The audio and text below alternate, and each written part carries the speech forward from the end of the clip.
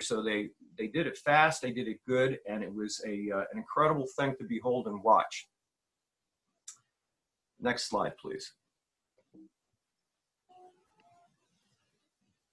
With that, this is how the lake looks now. You can see that, go back please. I want to talk about the dam a little bit. You can see the spillway off to the left there. You can see that there's a whole new face to the dam. If you remember the dam prior, it was an earthen dam. This is all riprap rock. And this dam has been used, or this lake has been used, I should say, tremendously during COVID-19. I've counted 35, 40 cars every day up there. So it's a blessing to a lot of the people who are stuck in their homes because they have to be. Next slide, please. This is Officer K from the Butler Conservation Office. He's our uh, officer here. He's throwing in trout that were stocked, uh, was stocked at the lake early spring before the grand opening, opening in April 15th of 2017. Uh, there were a lot more people than the people you see there, but this was the first official stocking where people were invited to participate. Next shot, please. This is my lovely wife, Linda, who I thought I would put in there for everybody to see. She's inspecting our work. This is an ADA compliant deck with marine grade decking and special aluminum railing for people that can be wheeled right up drop a line into 10 feet of water. This is one of our $120,000 projects that we did. Another one was the excavation into the eastern end of the lake, the shallow end. And I'm sure Dave Fowler will talk a little bit more about that. Next slide, please. This is an overview of the lake. As you can see, the lake is in blue. The surrounding property is in orange. And this is the watershed that we are attempting to secure property either through purchasing, through agricultural preservation, or through conservation easements. If you notice all the blue lines that are going in, there's four major streams that go into the lake. And with that, we need to protect that and preserve that. So we came up with this plan that if we can purchase adjacent property, one being to the very north of the straight line that goes across, it's a former light airport for uh, light aircraft, I should say. We're looking at that as an addition. It's about 125 acres, almost would almost double the uh, size of the lake. And we are looking to get agricultural preservation easements and conservation easements for people that own streams that lead into the lake. It's the only way that we're going to protect this lake. It's a, it's a big project. We need a lot of support and help. And with that, I think my time's up. I want to thank you all again for participating.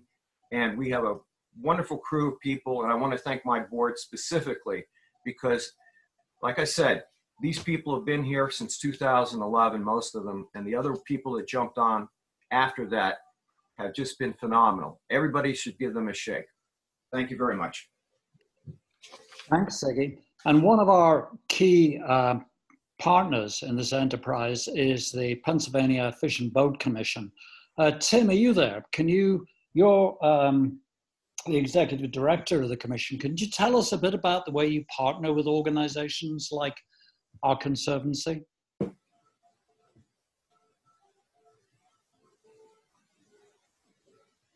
Tim, are you there? Maybe as un unmute.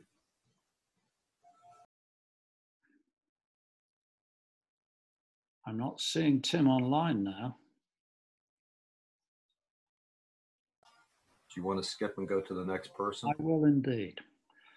So we seem to have temporarily lost Tim. So we'll move on to Roy. Uh, Roy Watzel, another member of our board uh, and a professor up at the Eden Hall campus of Chatham University. Roy, you were going to tell us a bit about the watershed and how we actually protect it, yeah? Sure. Uh, th thank you, Peter. Welcome, everybody.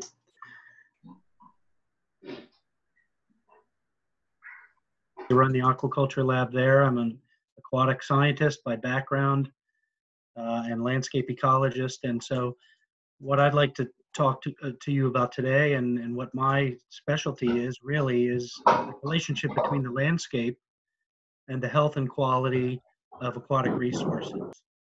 And uh, Peter, you can go ahead and skip to the slide, but um, you know, land cover, uh, whether it's natural or man-made, the way that we use the landscape within the rivers and streams and lakes uh, to which uh, the water flows off the landscape. And so uh, go back.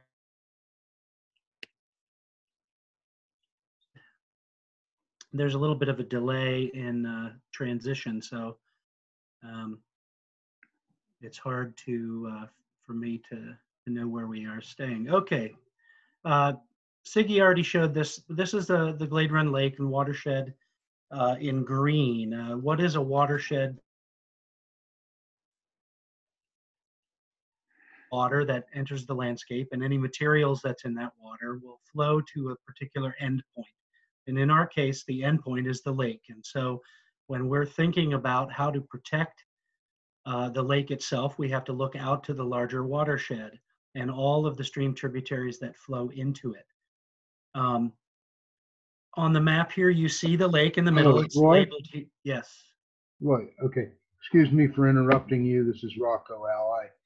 Tim Schaeffer just texted me and said he could hear everyone very well, but um, it, he can't get unmuted. So if you could get, could you get that message to Peter by some chance?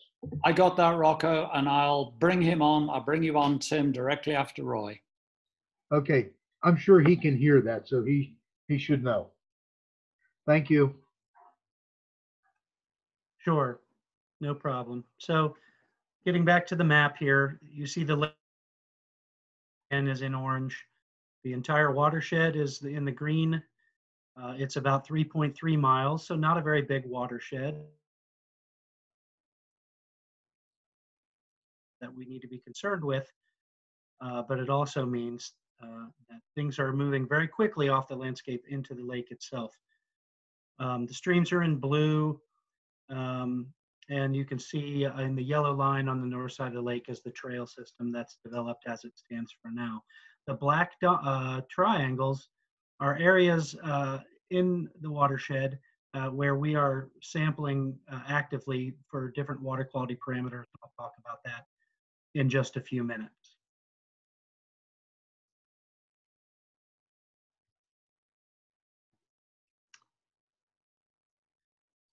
And it's going to take a couple seconds to transition, at least on my end. Important to think about, but there are areas within the watershed that are uh, really, really important to maintaining the water quality of the of tributary streams and the lake itself. And these are called riparian zones. This is the transition between the landscape into the water. Uh, and uh, ideally, uh, these would be maintained in some sort of natural cover uh, because there are a lot of valuable goods and services that both we as humans and especially the ecosystem uh, gets from these areas.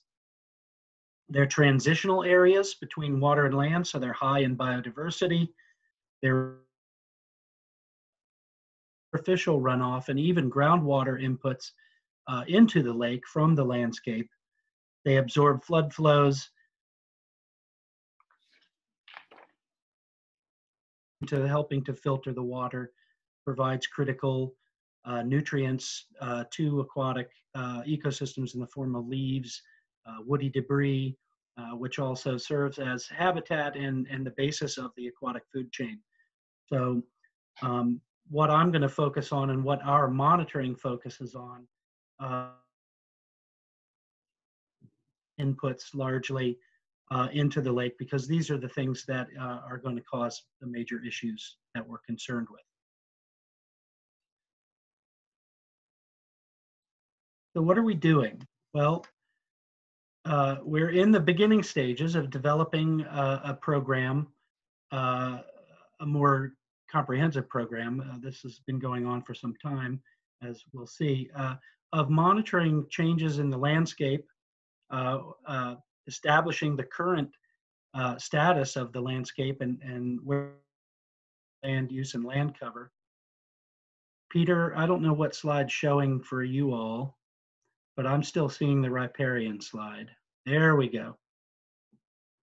Probably my network. Uh, and so to get at some of these questions about this relationship between the landscape and the water, I've started to do a bit of land cover analysis. This is done in GIS and looking at what uh, is happening within our watershed and in terms of uh, the different land cover types and how they're changing over time. Of course, we don't uh, know yet uh, how things will be changing in the future. Um, uh, right now, we're just trying to lay a baseline of where we stand. So in the top, again, you see the lake and its landscape. The watershed is in black there. The, the lower figure base, uh, which is a, a classification of different types of land cover and land use uh, from satellite data. And you can see, I hope, in the diagram, the two diagrams, that they roughly coincide with each other.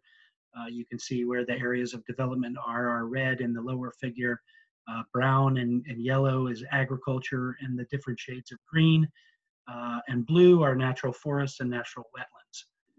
So we can put this data into a computer and look not only at what's going on watershed wide, but what's happening in these critical areas diagram that there's a pink lines that uh, mirror all of the streams and surround the lake. This is a 100 to get a, an idea of what's happening in the riparian zone. Um, so to the bottom right there are all the land cover types. You see the different colors and what they represent and percentages of each type of that type of land cover, both in the watershed and the riparian buffer. It's a lot to take in. Um, and so what I've done is to consolidate in the upper table there. You see I've got natural land cover, agriculture, developed land, which is uh, roads, uh, yards, and those types of things. And finally, impervious cover. And what we see is that the majority of the watershed is still in two dominant alternative types of land use are agriculture and uh, just a little bit of developed land. Uh, that developed land is is not concrete and impervious. It's uh, to water flow. It's it's largely open. Of trying to go back uh, and um, try to recover some of those areas. Uh, going from lawn to a natural cover is less uh, is more doable than than going from say concrete or a parking lot to to a natural land cover. We look at the riparian zone real quick. The numbers are better. About uh, almost 75% of the riparian is in natural cover, and that's a great thing. Pasture, and um, you know, we hope to work with uh, folks uh, doing agriculture in the watershed to uh, into a natural cover uh, so that we can get those benefits back. Very little impervious cover, concrete, driveways and that kind of stuff, and that's a great thing. Um, we're nowhere near what we normally would be concerned about as far as the total amount of impervious and, and seeing uh, uh, those effects in the lake, but that can happen quite quickly with development, and, and we want to be able to monitor that as we move forward. Next slide, Peter. This slide is just, uh, again, reminding you of, of the landscape. Those black dots are where we're collecting water quality. It's basically uh, at the base of every stream tributary that's entering the lake so that we know what's happening in each stream's watershed and then in the lake itself and even uh, it looks like one spot just down from the spillway that we know how everything and then going down into the to the river and stream down below. One thing I didn't explain before, that diagram in the upper the, the creek where the lake is part of, the headwaters down through as it flows down to the Gulf of Mexico. So if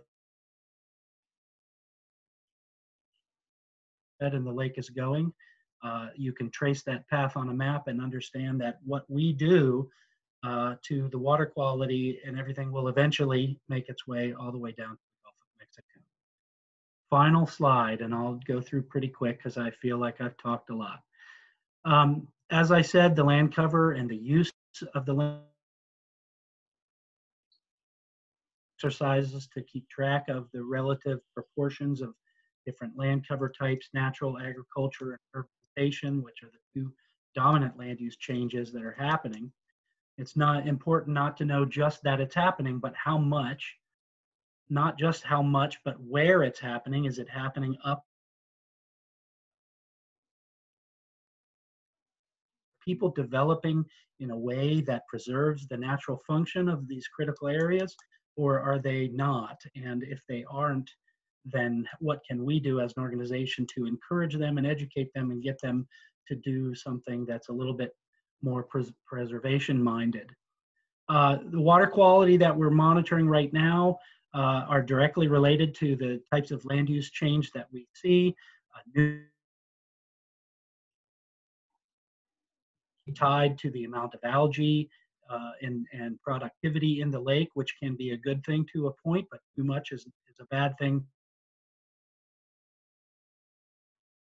Algae choked lake, and also for the wildlife that lives there. Uh, dissolved oxygen, of course, uh, this is just being monitored in the lake, but this is a critical one for organisms. Uh, you got to be able to breathe to live. Uh, the amount of solids that are in the water uh, the temperature of the water and the precipitation. These are things are all related to each other. During these over time, we'll have an idea both of where we stand now and being able to detect, detect changes in the future. We've got about a year's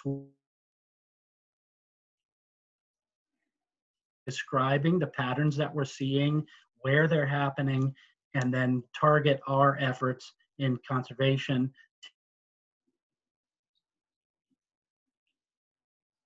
a couple other things that we'd like to monitor in the future, the conductivity and thinking about use of salt on the landscape and the effects that that might have on water quality, and trying to get an idea of how much sediment is making it into the lake uh, during storm events and those types of things by monitoring the turbidity of the water. Uh, that's all I've got.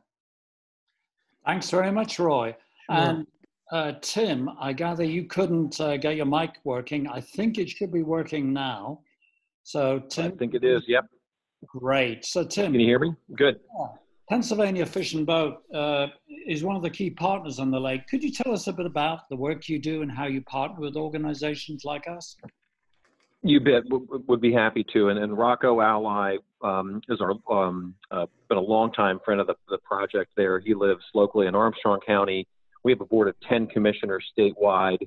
Um, the Glade Run Lake is actually in our, our commissioner district from northwestern Pennsylvania. So Dan Pastore, um, who's Rocco's counterpart to the to the north, um, also has a connection to this project. So, tell you a little bit about the agency. So, um, the Pennsylvania Fish and Boat Commission is an independent administrative agency of the Commonwealth.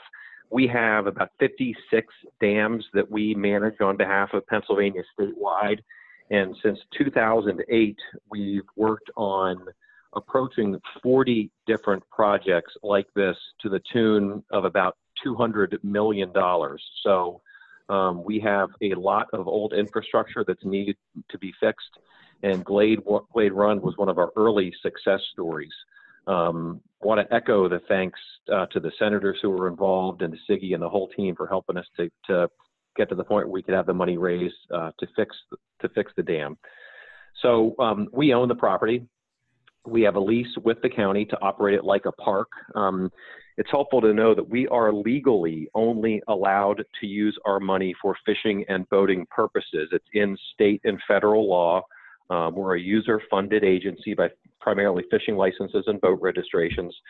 Um, so we aren't even allowed to use that money for park-like amenities there, trails, et cetera, which is why it's so great to have a partner um, like the Conservancy um, to deal with. Um, so a little bit about um, our work there. You know, well, we, we did the contracting to rebuild the, the dam, which is that could be a whole call on its own. Um, but we have staff who work on fish habitat. Um, those of you that remember seeing some of the work that was done when the lake was drained and thereafter, um, Ben Page is the head of our lake management uh, section. And we've put about 150 structures into Glade Run Lake. It's important to note that Glade Run, like other man made lakes, would just be a big bathtub if we didn't um, supplement the habitat that's there. So, um, We've installed um, things like rock rubble humps, uh, catfish, channel catfish spawning boxes, uh, porcupine cribs, other types of structures, turtle basking platforms, and places for to provide refugia for fish and also spawning areas. Um, been really, really happy about that. Um, one of the things that we have yet to do, we'll be putting some more porcupine cribs in there, some additional spawning boxes. Something that we'll likely do also we've done other places, and it's good to give you heads up ahead of time on this. Is we'll we'll strategically fell some trees along the shore. People think, oh my gosh, what are you doing? Well, you know, deliberately dropping a tree down into one corner of the shore um, could will provide terrific habitat. So I don't know exactly where that would take place, but just wanted to, you know, give you a heads up if citizens are over there thinking, oh my gosh, what's Fish and Boat doing, chopping down a tree into the lake? It's it would be done very selectively and with fish habitat in mind. Um, we don't have any projects planned for the lake um, in 2020 because of our inability to use volunteers. Um, but believe me, we'll, we'll, be back out there doing habitat work. Um, so in addition to managing the habitat, we also manage the fishery. So um, someone mentioned about John Kay, our, our local WCO stocking trout. Um, Glade runs a very popular stocked trout fishery. Uh, this year we stocked 6,000 to 300 rainbow trout in on March 17th. Because of COVID concerns, we accelerated our stocking schedule this year. We would have stocked multiple times in the year, but because frankly we were racing the virus and trying to get the fish out of our hatcheries as quickly as we could, um, we put all the fish in at once and actually provided a, a really record number of trout there for people to, to catch. The number didn't change. We just changed when we put them in this year, and we'll be back out stocking more um, uh, trout in November of this year. Uh, but it is a warm water lake. Trout would not survive through the summer given the, the, the, temperature of the lake. It's a warm water lake, and so we've stocked it with largemouth bass, channel catfish, bluegill, white crappie, as well as forage fish. Think of minnows, shiners uh, that we put in the lake to provide a, the, the basis of the food chain. Um, I was told that the largemouth bluegills and channel catfish are abundant. Uh, just need a little more time to grow. Um, and once they do, the, the, the, fishery will be even better. Uh, there were pumpkin seed sunfish that had been present in the stream that have also increased in abundancy as the lake refilled. Um, have a great partnership with Butler Junior High School where they have a cooperative nursery there and they're raising uh, channel catfish there and putting they put several hundred fingerling and when I say a fingerling of a fish think of a fish the size of a finger um, they they'll put uh, lots of those in every year, and that's been a great way to supplement that fishery. Um, we will still have plans to stock more white crappies. We only started doing those in 2019, so that part of the fishery um, still has some time to come back on board. Uh, so we'll continue to do the habitat work. We'll continue to um, uh, do the maintenance that's required um, on the dam and on, on the, on the access area um, supplement the fishery. Uh, um, a couple of things I'm real excited about looking forward is um, the agency um, is stepping up our game on aquatic invasive species prevention. And one of the things that we've noted in our strategic plan is the need to install disinfection um, stations or cleaning stations so we're not spreading uh, invasive species from one water body to another. So um, that's something I could follow up with Siggy on um, if there would be any appetite, perhaps to work with us on something there, so people are, aren't unknowingly um, taking something you know from Glade Run or bringing something into Glade Run that we, we don't want to, want to uh, have there. Um, we're hiring an invasive species coordinator for the first time in the history of the agency, and we actually have interviews scheduled for that um, in about a week and a half. So, real excited about that. Um, other thing, just wanted to solidly put on everybody's radar screen is boating safety. Um, with the explosion in kayaking, which has been tremendous, um, we also see the need to remind people and educate a lot of people for the first time about the importance of boating safety. So um, uh, anything we can be doing with the conservancy to promote boater, the safety of the boaters as well as the, the health and safety of the uh, of the lake, uh, we would love to look for chances to do that. Um, the last thing I'll say is that Siggy has my phone number, um, as well as others in the agency. We are a phone call away. Um, I would say that the Glade Run Lake Conservancy is one of the model partners that we've worked with. I know we've steered some other folks your way when they've had their lake drained and figured out, oh my gosh, what do I do next? And typically the first thing we say is call Siggy Payhel and see how they did it at Glade Run. So um, whether it's helping to, to facilitate the acquisition, potentially that airport property, or anything else, um, you know, just give us a call. We've got local staff there and John Kay, our WCO, um, but our statewide fisheries and habitat staff are just just a phone call away to help anytime. Tim, that's great. Thanks very much. And it's so good to hear of a sort of public private partnership that's working well, where we truly complement each other. And to be honest, with, without both organizations, we wouldn't have the lake we've got today. So that's a win in my book. Um, okay, guys, if we move on, uh, Becky Miller, another member of our board, is going to say a little bit about conservation easements. So this is getting back to what Roy was saying and Siggy about mm. how do we actually protect the watershed and yet still have farmers able to farm and people able to use their land. So Becky, over to you. Hello, everybody. I am the new vice president of the organization. I've been with the group since the beginning, pretty much, um, and previously worked a lot on fundraising and community uh, involvement and things like that. Um, when uh, we when it was announced that the funding for the dam uh, had been awarded, we were all ecstatic. We thought, "Yay, our work is done." Um, at that time, there was a large property bordering the lake that went up for sale and i said oh no what if that gets sold to people that don't have the same values? And um, so it became pretty evident that we had another mission um, another form of stewardship that needed to happen for the lake um, once it did get restored um, and, uh, you know, in many cases, a lot of people will decide that um, selling to developers is the only thing that they can do to make money on their property. Um, or that they don't have other options. Um, and so we um, uh, basically would like to preserve this watershed and the lake for future generations so that they can enjoy it the way that we can enjoy it. Um, I believe uh, Allegheny Land Trust said if you're out in your kayak, what view do you want to see in 10 years? And what view do you want your kids to be able to see when they're on this body of water looking at things from this vantage point? And that's what conservation is really about, is preserving everything. Uh, so we explored some other ways that um, people could um, conserve their property or um, or make some changes um, that potentially could have some tax advantages to them. Um, next slide, please.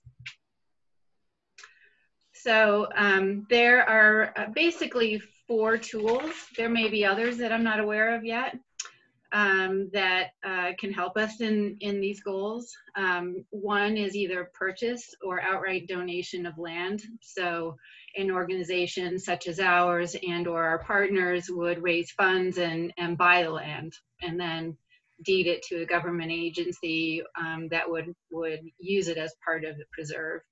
Um, an owner could donate a land, uh, a, a, plot of land that would border the lake or as part of the watershed. Um, zoning is another way that we can protect what can happen on land. I'm not really going to talk about that. Um, and then the two that we are starting to focus on are agricultural easements and conservation easements. Um, next slide, please.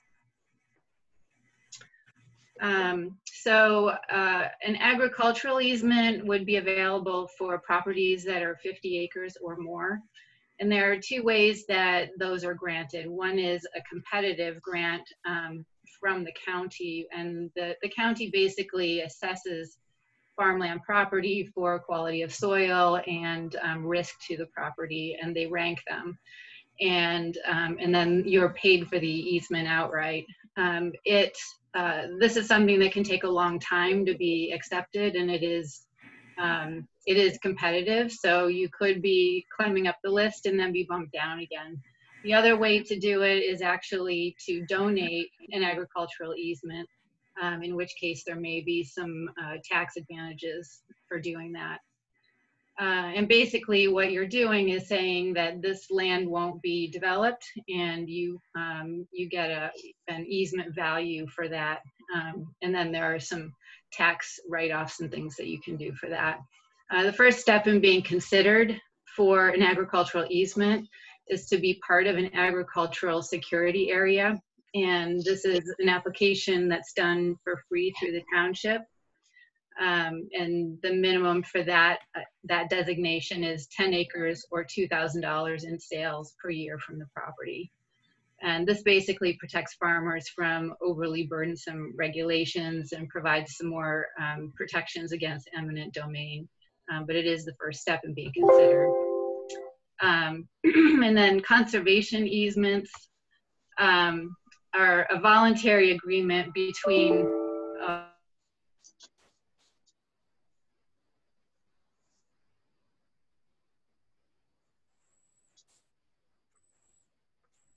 Hey Pam, Yeah, could I get your power cord just in case?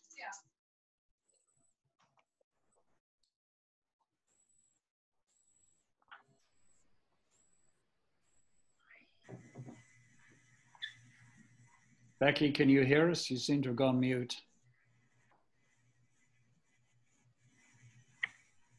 Okay, guys, it looks like Becky may have lost her connection.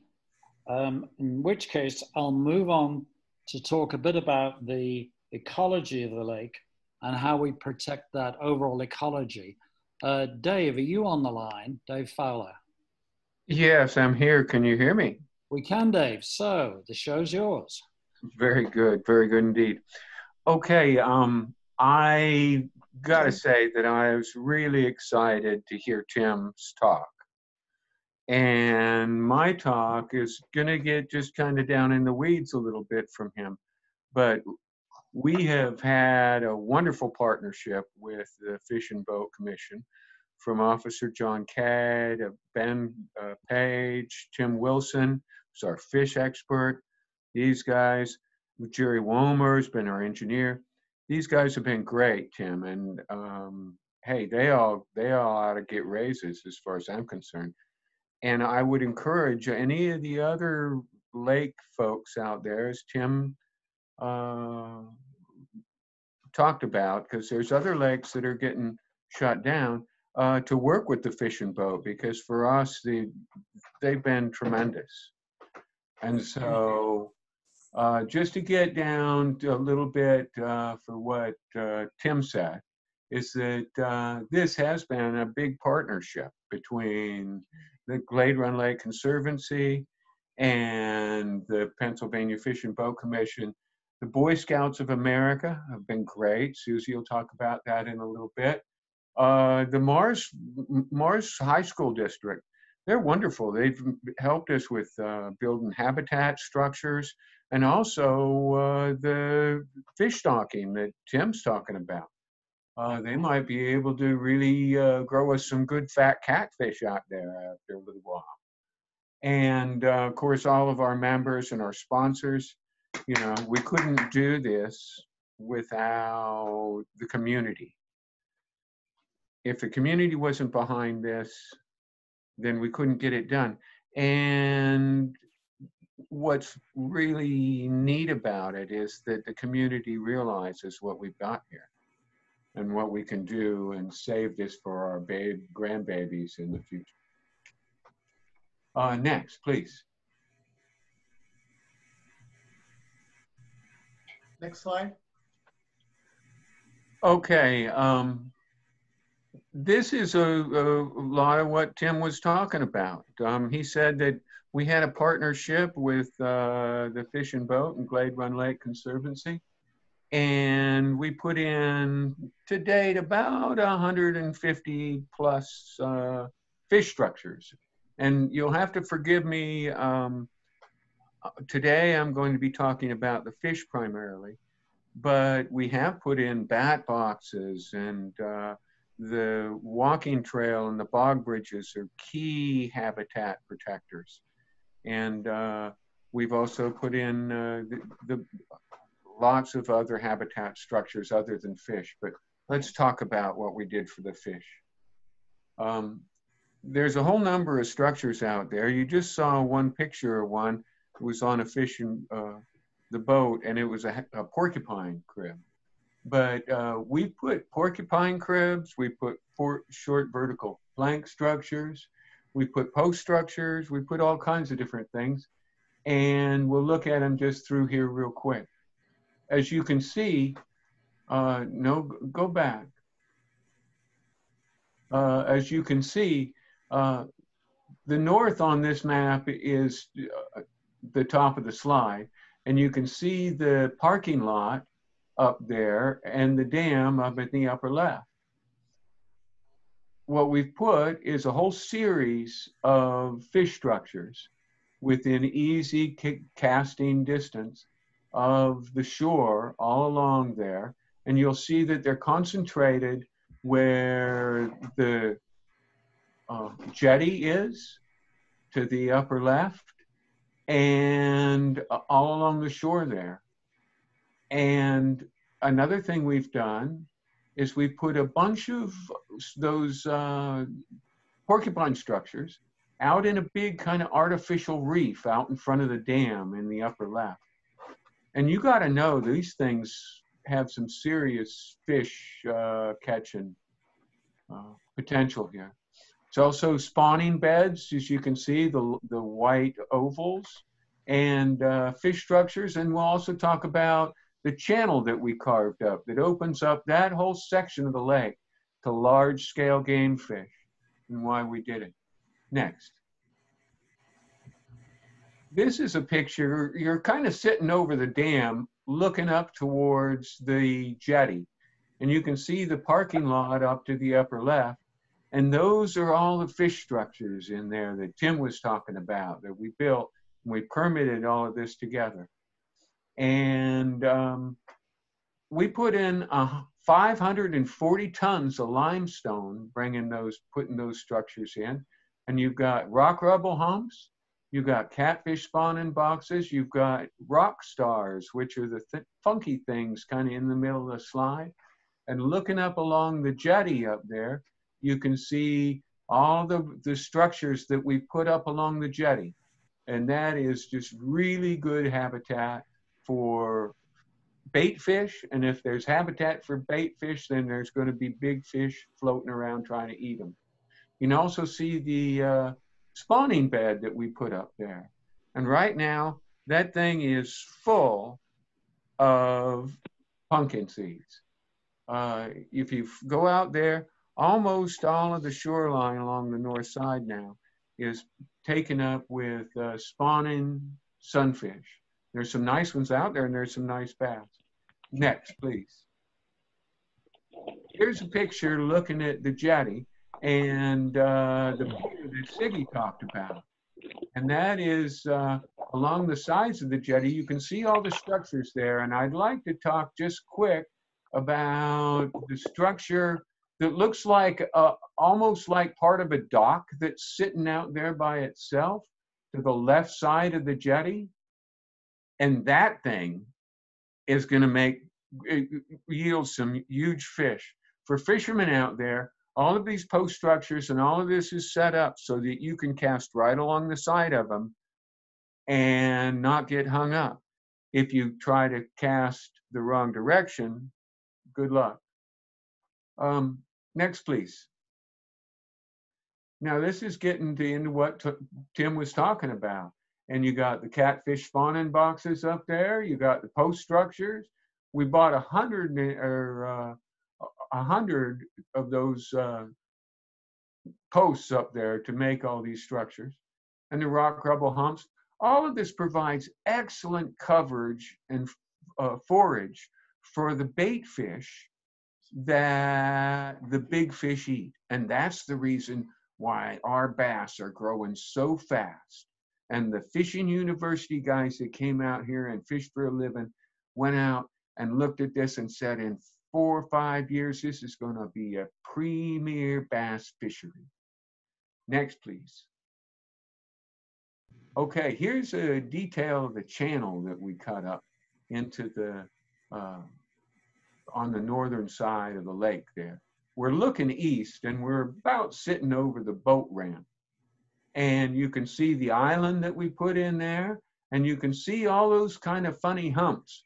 Well, all that was put together because the channel has been dredged out to 10 foot deep and goes 1,200 feet, and it opens up the whole east side of the lake over there on the north part to a, a, a quality fishery. That's where the, the big fish live, and from what I understand, there's uh, along the top of that channel up there, um, in trout season, that's where they like to school up, right over on the eastern side over there. Now you can see the real shallow. This this picture, the lake is only partly filled, and nowadays, of course, it's all full of water. But the shallow, the humps that you see in the middle of the uh, screen are only about two to six inches deep of water now. And we put those in there, they're called littoral areas. And that is a prime place for wading birds, for minnows. If you get out there early in the morning, the herons get out there. And uh, Yeah, so, uh, about Glade Run Lake. yeah, and um, so that was one of our major projects. We moved over 10,000 cubic yards of dirt doing that in partnership with the Fish and Boat, again, helping us design, uh, do all of this. Next, please. Oh, this is just a little as an aside. Um, it's a picture of uh, turtle basking platforms. Doesn't really have to do with fish, but we're sitting there on the boat of the Fish and Boat and they just roll these off. And uh, we put a whole number of those around the lake. And I went out there this morning and by golly, there was a turtle on one. so uh, next, please. Ah, this is a, a, something that is needs to be spoken to. Um, wha- we hear a lot of questions about why did we leave the, all the trees and the brush in the lake, and that is is because maybe the most important habitat improvement we make is leaving those in there and not cutting them out. I show you this because it shows not only the wonderful habitat for all our birds and other critters out there, um, but what I'd like you to do is I'd like you to think about what that looks like underwater for the fish, right? And what you'd see is you'd see all the branches in the same structure and the moss. And instead of birds, those are all fish out there, folks. And uh, in partnership with the Boy Scouts and all of these folks, we can leave this to our grandbabies. And this will be one of the best fishing spots in the whole eastern coast here, eastern part of the states. Uh, next, please. Uh, Tim covered this pretty good. Uh, that's kind of what we put in there. The channel catfish and the largemouth bass are probably the uh, biggest things that people are concerned with.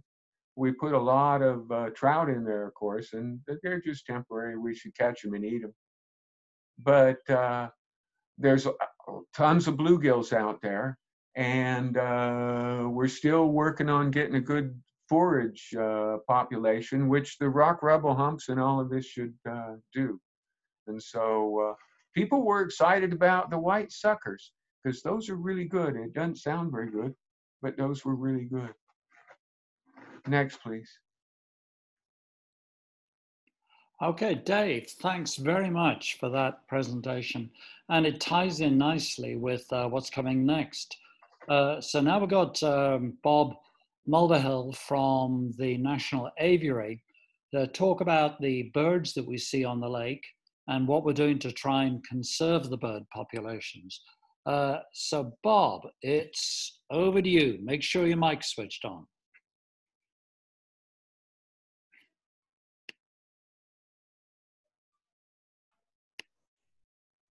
Bob, are you there? There you go. There you go, Bob. Yep. Can everybody hear me? Yes, we can.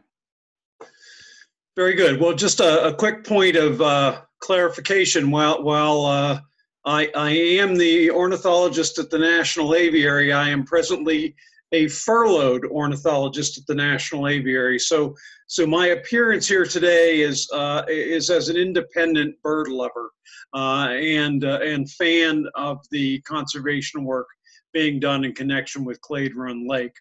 Um, in any case, uh, Glade Run Lake, uh, as you can see just from the list of birds that have been seen collectively by all of the uh, of Western Pennsylvania birders who who have visited there uh, and entered their sightings in the uh, the Cornell Lab of Ornithology's uh, database known as eBird.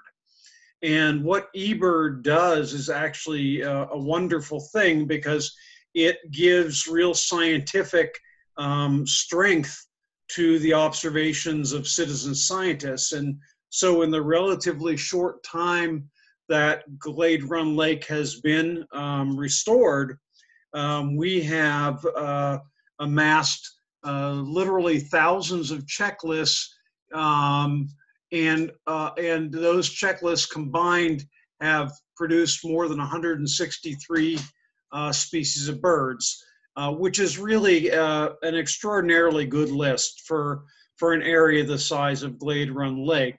Um, it certainly is right up there with um, some of the larger um, areas you may be familiar with, like uh, Lake Arthur or or uh, even even uh, Pymatuning and and Conneaut Marsh.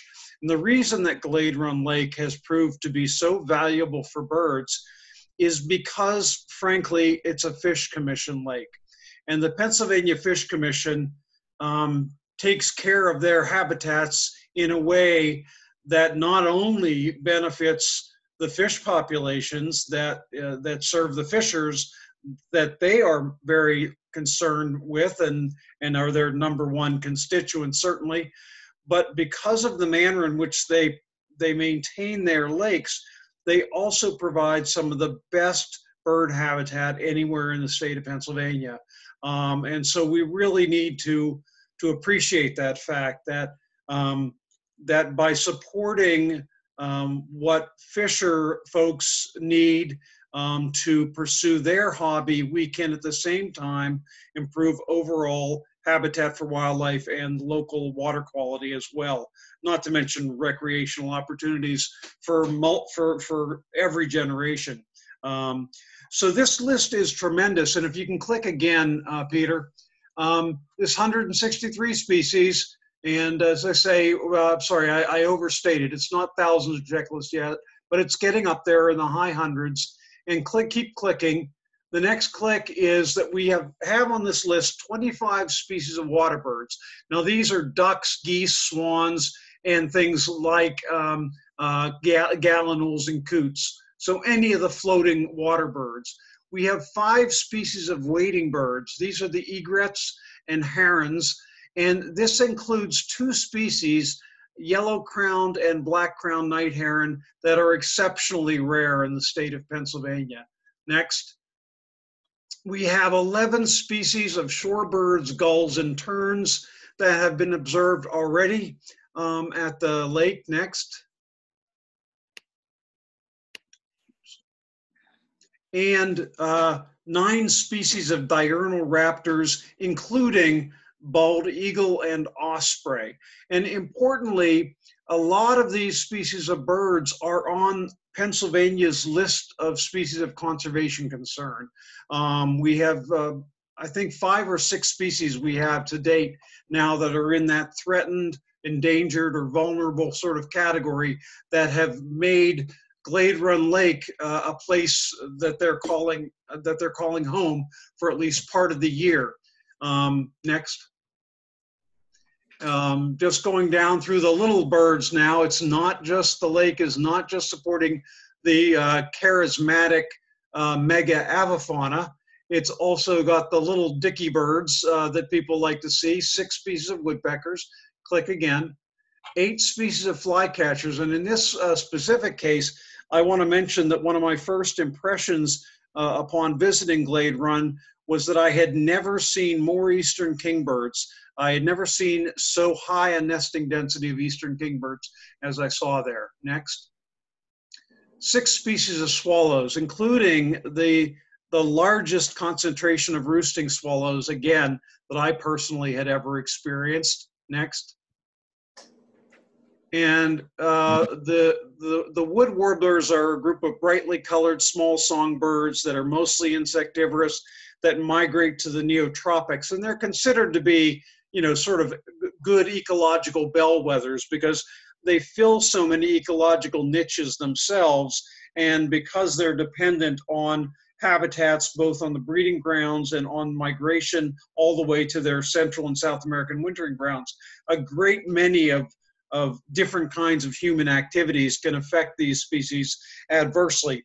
So the fact that the list uh, already shows 25 species of wood warblers, including one that is a wetland specialist, a prothonotary warbler, and is another species of special conservation concern in the state. Next. So uh, the person that uh, actually introduced me to Glade Run Lake is uh, is is Joe Lee, and uh, click next. And I want to shine a light on Joe Lee. He's a good guy who is possibly your best ambassador uh, for the for the project for Glade Run Lake because Joe talks about it in glowing terms all the time to everybody. Uh, I've seen this personally, and, and he doesn't, and he's persistent, but not in a not in an obnoxious way. He he wants to get you out on the lake, and by golly, he gets you out on the lake. And I am ever so thankful that he did because Joe has given me some experiences that I will never forget. Uh, and it's Joe in combination with this very special place that all of you have created through your through your combined efforts.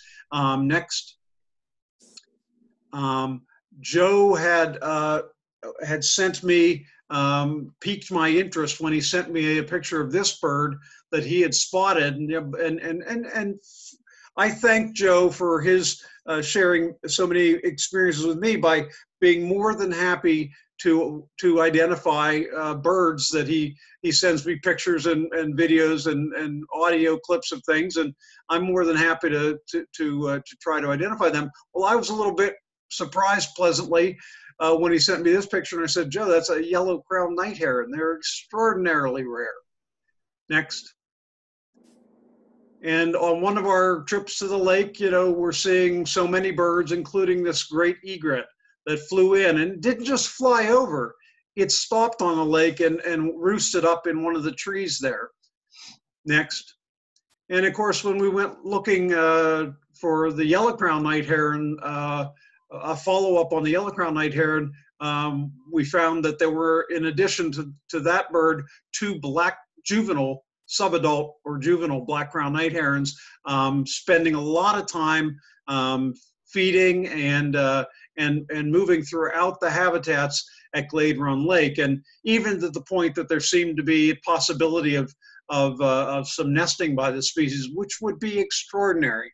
This is a, an endangered species in Pennsylvania. It's limited to only two or three nesting locations uh, of significance, and those are in eastern Pennsylvania, out by uh, Harrisburg. Uh, so if by if we're lucky enough to attract some breeding uh, members of this species to uh, to Glade Run Lake, that would be a phenomenal conservation success. Next. Um, the uh, often when Joe invites me to go on the lake, it's either early in the morning, naturally we're looking for birds, or in the evening. Uh, and in the evening, uh, if you hit it right as we did on, on this occasion, um, the swallows are taking advantage of the lake um, because, of course, the lake uh, is a habitat for many aquatic insects, which have, of course, a winged adult stage, and often there's a hatch coming off the water, and the swallows will uh, swoop around and, and they feed aerially.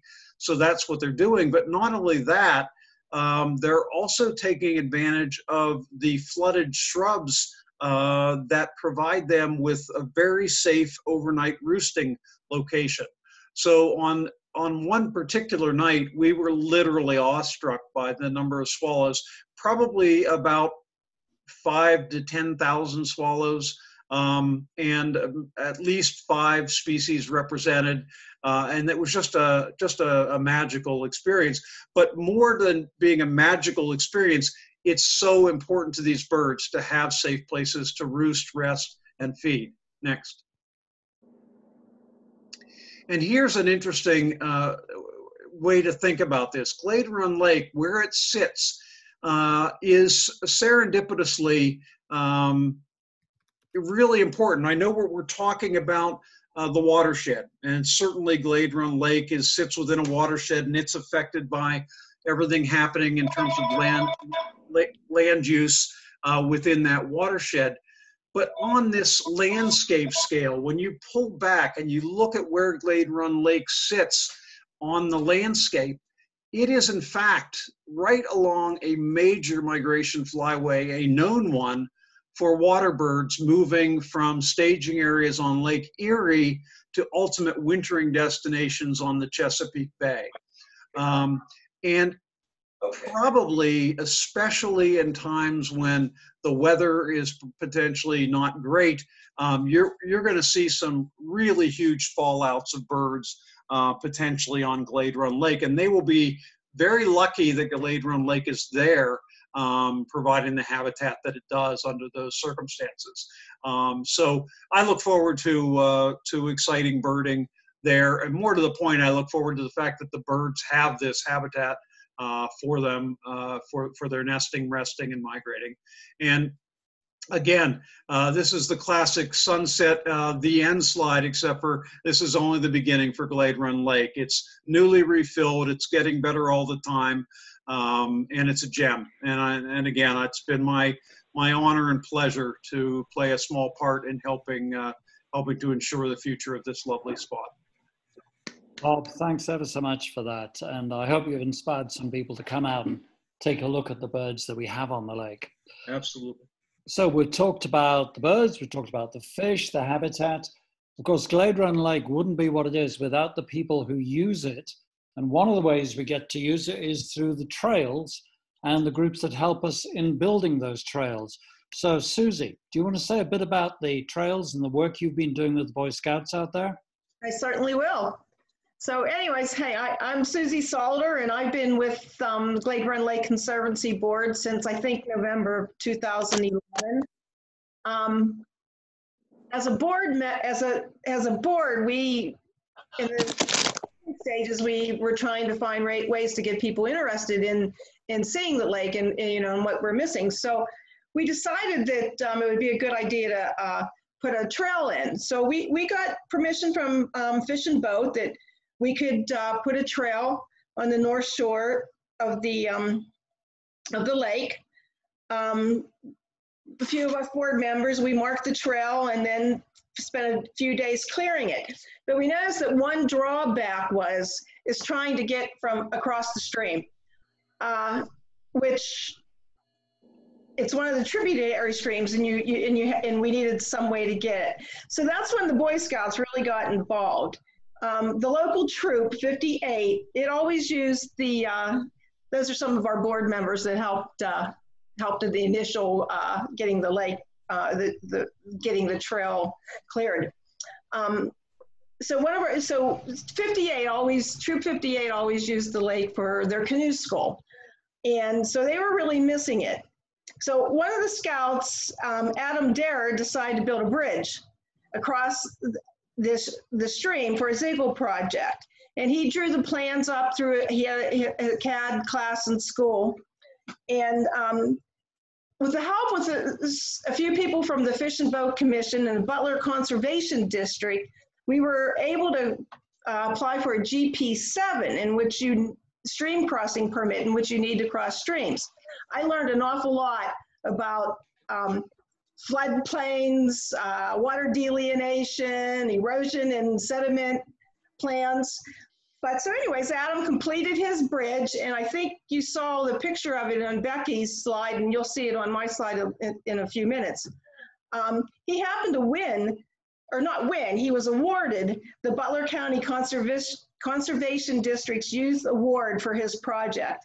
And that's really quite an accomplishment for that. What's up, Buttercup? So, I, so um, but also we needed a way to um, to get to, to preserve the wetlands on the trail. You know, we're it's a it's a lake habitat, and so it's spring fed. A, a lot of it is spring fed.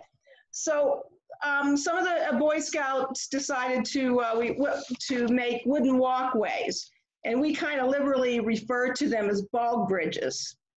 Um, the first one that was built was back in the spring of uh, 2017, and it was a this is it. It was 150 foot, um, 100 uh, yeah, it was 150 foot long, and it really does sir. It's it's beautiful now when you walk down because you can see how how um, the the the parts around it are, are preserved in the in the moisture, and it's I get great for the reptiles and the frogs and and whatnot. Um, so that was yeah that was in the fall of that was in the spring of seven of 17 and then the fall of 17 another scout decided to extend the trail the whole way out to um, sandy hill road. So all in all since the time of the first one there's been approximately 825 feet of bridging and that was done by four different eagle scouts for their projects. Um, there's two more two more bog bridging projects that were planned for this spring and summer. They're on hold right now because of uh, COVID-19, but um, as soon as they get the, the green light, they will they will start that. Um, so as there, that's that's Adams Bridge. As to date, um, there's there's 19 finished Eagle projects, and they were from troops 58, 417. Uh, there was an informative kiosk um, next that was that was built by by a scout. And that's at the head of the that's the head of the trail. And it's great it's great gives us a lot of information you can find there. Um, we've had uh, wood duck houses. You go next next uh, yeah we've had um, wood deck um, houses um, put on the southern shore of the lake. Uh, we've had bat boxes along the trail and also um, near the lake shore down by the jetty. Um, three scouts, I think Dave had, had told you about that, have done fish habitats, which great learning experience for them working uh, with Ben Page at Fish and Boat. Um, there was the porcupine structures, I think the vertical structures and the, uh, the turtle basking um, uh, platforms. Um, let's see, we have two scouts who've built benches around the, the lake. Um, and then if, you, have been at the lake, you've seen the concrete picnic table. That was an Eagle Scout project. Um, the, uh, on, on the island, we had a scout who put a, uh, the osprey platform and he did native plantings around the, uh, around the island. Um, our last completed uh, Scout project, Eagle Scout project, was uh, done by Beck, our own Becky Miller's son, Adrian. And he's installed a handicap accessible concrete pad and walkway up to the Russ Matchett uh, um, bench that is in the parking lot that overlooks the lake. Um, DCNR sort, we've had DCNR service foresters there, Dave Cole and Zach St. Laurent. They did a walkthrough for with us and, you know, uh, where I liked the variety of trees that we had, and they identified some of the invasive um, shrubs. Uh, Charles Bier, uh, Senior Director of Conservation at the Western Pennsylvania Conservancy, uh, came out one evening and walked with us, um, and he he identified um, the good plants and the invasives and gave us advice on how to control them. He is a man with an amazing amount of, of knowledge so anyways, we're, you know, maintaining the trail has really been a struggle for these past two years. uh, with we've had historical rainfalls and it's quite wet, so the bog bridges are very, very uh, desirable, and we can't. We're making a focus to get those done so that the trail is is easy to walk for everybody who wants to even fish closer, like up to the up up up the stream a little or the the shore a little bit into Bird up to some of the areas where you really can't see them down by the by the jetty. Um, so anyways, like if anybody wants to help uh, help us in maintenance, we'd be be glad to give you a board. You can just give us a um, a uh, an email, and I will get back to you if we do some trail days. So um, I know I'm running out of time here, so um, I just hope to see you walking on the trails. Thank you, Peter. Thanks, Susie. Uh, and to round off, we want to talk a little bit uh, about how to get in touch with us and how to know what's going on all the time at Glade Run.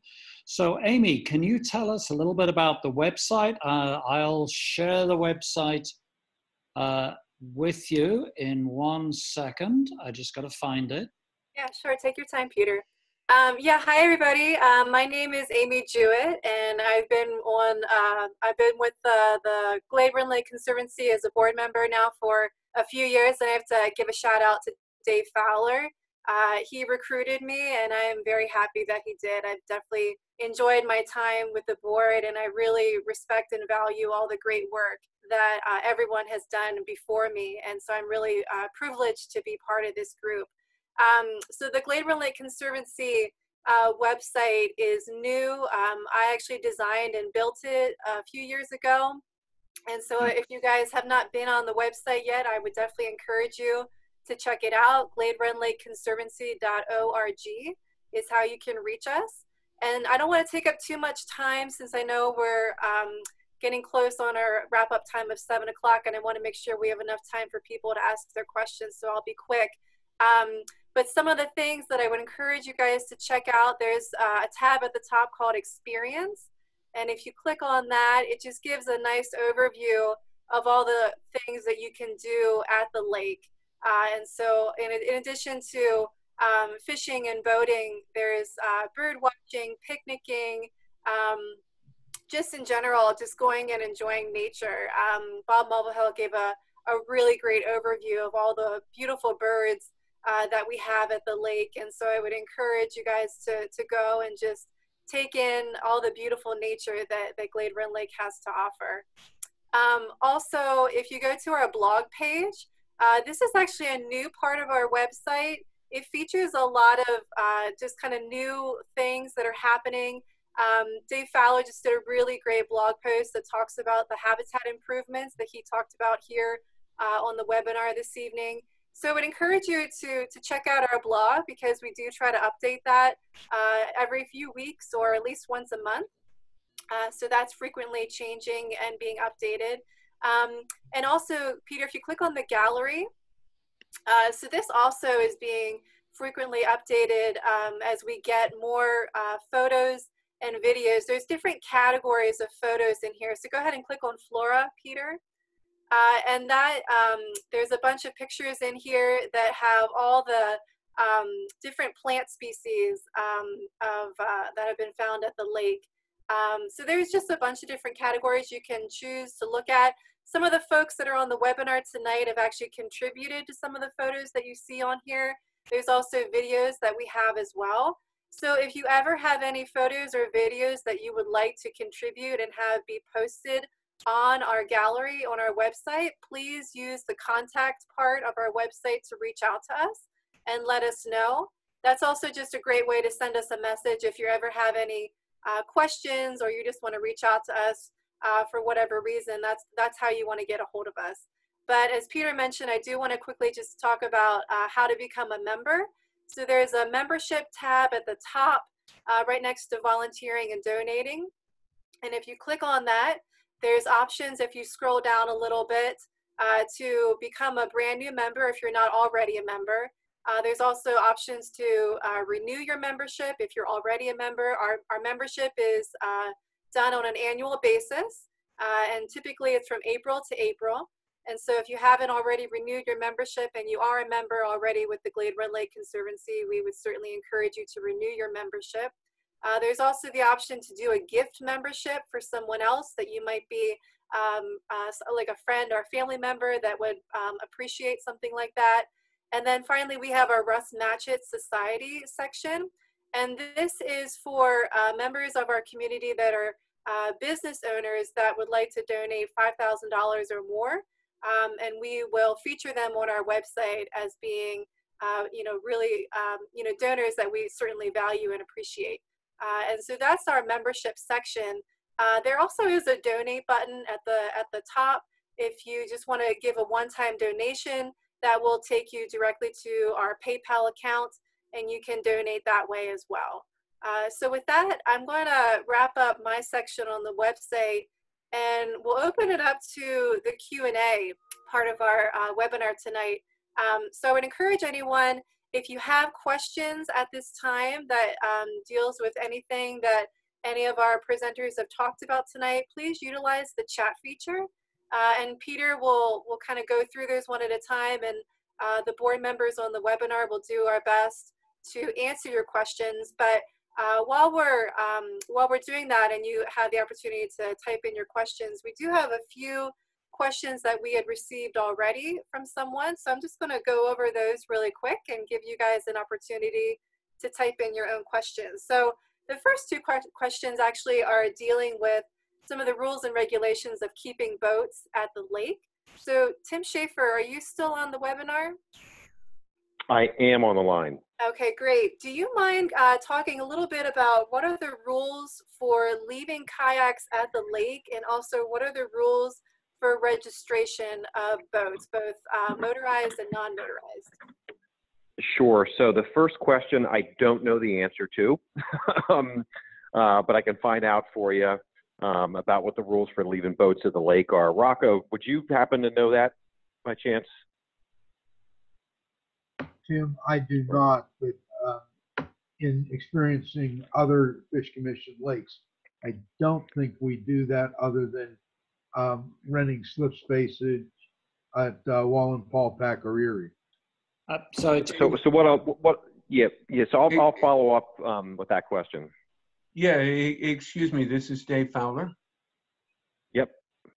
And um, yeah, uh, she does. We do have a tie-up spot, and people can leave boats there up until the fall. Once the in November, I think it is, but they can find that on the signs that are immediately there and on the Fish and Boat Commission website. But in Glade Run Lake, they can tie up uh, a kind a small boat and uh, leave it there. It's not in the water; it's on the land, but there is a, is a facility there to tie onto a cable. Thanks, Dave. Great. Well, thank, thanks, thanks, Dave. And then, and as far as the um, registration um, goes, so if you're going to use any fish and boat commission launch um, statewide, whether it's at Glade Run Lake or elsewhere, you need to either have your boat um, registered, which um, uh, you can do for powered and non-powered boats, or what a lot of people do is have a launch permit. Um, and you can get to both of those. You could buy either of those through our website, which is fishandboat.com, or we have a really handy mobile app um, that we've developed that's become increasingly popular. It's Fish Boat PA. Um, so either go to fishandboat.com or Fishboat PA and um, get started. Again, the launch, launch permits are really popular. I, I, will say the benefit of registering your boat versus getting a launch permit, which is the same cost um, for an unpowered boat, is that we then have more documentation if your boat would ever be lost or stolen. Um, the launch permit does not include identifying information for the boat itself, but if you registered and something would happen, we at least have a little information to help you find it. So thanks for that question, and um, uh, looking forward to seeing people on the water there. That's great. Amy, were there any more questions came in? There was, yeah. And Tim, thank you for uh, for answering those questions. I'm sorry to put you on the spot about that, um, but thank you. Um, so there was a question: Is fishing allowed on the dam? Uh, and the answer to that is that yes, fishing is allowed on the dam. However, fishing is not allowed on the spillway, which is right there along the dam. So I just wanted to clarify about that. Um, and also, uh, there was a question, and Dave Fowler did talk a little bit about this, about the trees, uh, the willow trees that are uh, left in the lake, and if that was part of the plan as far as once the lake was filled in, should the trees have remained? And, and yes, that is a good thing. Um, uh, Dave did a great job of explaining that they are uh, great habitat for the fish, and, and they will eventually die off. But in the meantime, uh, you know, the, the, the trees are serving a good purpose of helping the fish population to uh, survive and to, to thrive there. Um, and I got to say, Dave, Dave, Dave, you're hired, by the way. You did a great job. you Um, better be careful. And then we did have one other question uh, that was talking about the maintenance of the trails, and Susie did talk uh, a good bit about that. And so, if there is any um, work that, that needs to be done, I know right now this year uh, we haven't had a lot of opportunity to get out, and so some of the trails might be a little bit muddy, uh, but we do try to maintain the trails as much as possible. So, if there are sections of trail that you see that really need a lot of maintenance, um, I would encourage you to contact us and just let us know. Uh, and if anyone ever has the time um, uh, and drive to help us to to do that maintenance, we would certainly. Uh, and I know Susie would agree with me that we certainly would value any volunteers that would like to help out with us. Uh, so with that, I'll, I'll hand things back to Peter, and we'll try to go through some of the questions that we're getting. Okay, thanks, Amy. Here, um, Um, we've got a few questions in on the chat, and I'll try and deal with those, and then you can just shout out questions if you got. So the first question is about catch and release, uh, and yes, it's catch and release for other than trout, and I think that's the way we're going to keep it moving forward. So you can keep your trout if they're a reasonable size, but everything else is catch and release. Yeah, and, and if I could um, answer, expand on that. So anytime we bring a lake back, um, we put the catch and release restrictions on the lake to allow the fish population uh, to build back up. Eventually, those catch and release restrictions will be removed, and frankly, that will help to keep the lake in balance. Um, Yeah. one thing that, that we do see happen if a lake basically gets overcrowded with fish, it will stunt the growth and really sort of throw it off kilter. So catch and release now once the once the populations build back up, and then uh, we do anticipate you'll be able to keep legal size fish. And Uh, Tim, I'd what like- about night fishing? I've got a question about night fishing. Is that allowed? Night fishing is allowed. So I, the, it, whatever the hours of the park are, um, I mean, to get into the facility, um, I believe they should be posted there at the uh, at the property. And I apologize for not being able to answer the specific questions. Um, I'm here in Harrisburg and don't know the details specific on the hours there. It's open uh, throughout the day and night. Uh, There's no camping, no fires there. Uh, And I just wanted to say something about the fish real briefly. We had the opportunity through Butler Tourism to have the Fishing University uh, do a fishing show of 30 minutes this past September. Uh, I, the show was incredibly good and it showed that they caught a largemouth bass of three pounds, three ounces, and they were so excited. They said they want to come back in two to three years when the fish are bigger and do another show. So it's getting a lot of notoriety throughout the country. Uh, it was on three outdoor channels, uh, and I could only access one, but that's their intent. So we're doing a heck of a job with the fish, and I think Dave's um, uh, analogy of the tree with the birds and going down into the lake was beautiful because that's what we're building. So when people say get these branches and things out of that, no, that's great habitat for fish, and that's where they caught most of their fish. Thanks, Ziggy. That's a- Ziggy, Ziggy, not to interrupt you, but this is Rocco Ali. Hi, Rocco. Um, Ziggy, one of the reasons that three and a half pound bass came out, um, I was involved in the fish salvage at Somerset Lake, which is Ah. another, another one of our dams being rebuilt. We brought a truckload, and I, I was personally with this truck. And I can guarantee you there are, bigger- there are bass in that lake much bigger than three and a half pounds. well, good, Uh, yeah, there are. I Good. saw them and I put them in. good. That's great to know. Let me, Thank the commission. this is, this is Dave Fowler. That. This is Dave Fowler. And let me second what Rocco just said. There's some big fish out there because we didn't mention that we've gotten some big fish out of other unfortunate lakes that got closed down. And so the fishery, we need to keep working, but it's healthy. Yep. That's great. Thanks very much, Dave.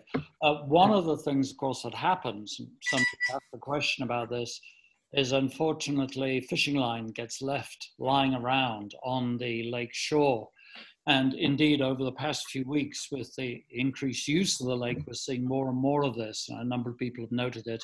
And yes, we will be going out and doing tidy up uh, sort of scavenging to try and remove that fishing uh, line because, of course, it's terrible for birds. Um, another bird question that's come in uh, Have we ever considered building a bird bind uh, sort of along the trail beside the lake, uh, somewhere that people could uh, be able to have a sort of a quiet time to watch ducks and wading birds? Sounds Let like me- that would be a good scout project. Let me, yeah, let me take that and Susie to, yeah. Um, what do you think, Susie? I think it's a great, I think that would be a wonderful idea to do that. Um, was this from, from David Brooks? Uh, Yes. I would love to meet you at the lake and go over it and you, you are probably the, the one who would be able to tell us where the best place to put it and some of examples of it. We can even probably propose this for an Eagle Scout project. Um, I think it's a wonderful idea. Okay, thanks. Hey, Bob, here's a question for you. On our front page of the website, we've got a, a photograph of a heron nesting. Do you know which species it is? Yeah, it's a it's a green heron. A green heron. Okay, and it was Yeah. a, it was at Glade Run.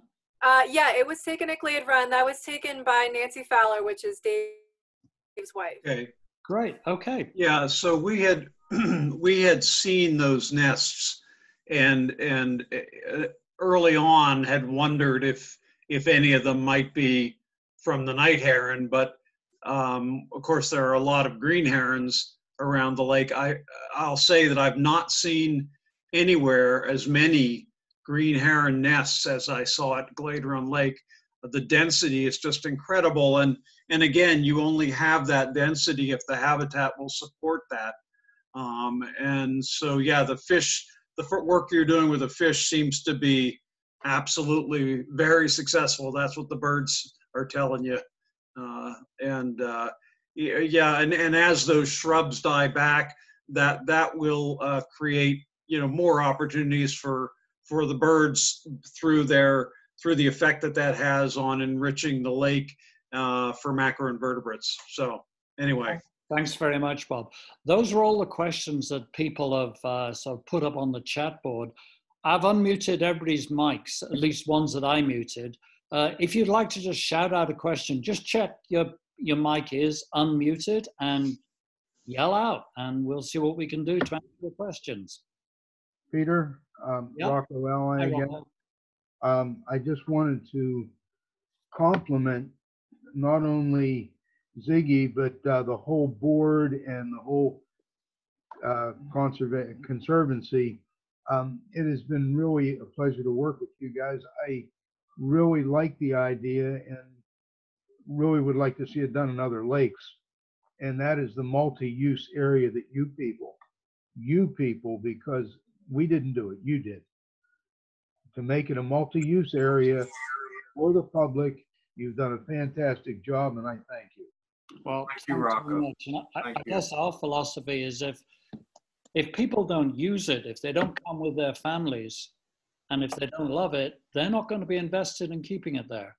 So this way, we get a great resource for the uh, county. We got a great resource for the area. It's been a great partnership. So thanks, Rocco. We all appreciate it. Thanks for bringing those fish in from Somerset. Yeah. Keep them coming. all right, guys. Any questions from anybody?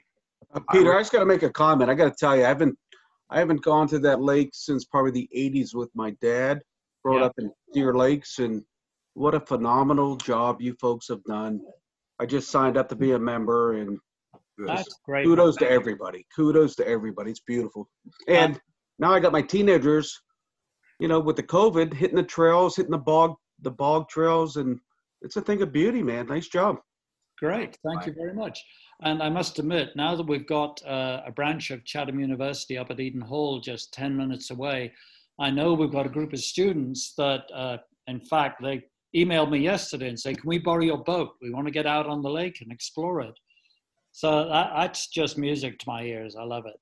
Peter, could I give a shout out? I see Reed Joyce joined us. Uh, Reed has been the person that's taken many aerial shots with his drone. He did a video for us of about 15 minutes when we opened it up. I want to tip my hat if I had one, but I'll give him the bald head back to him.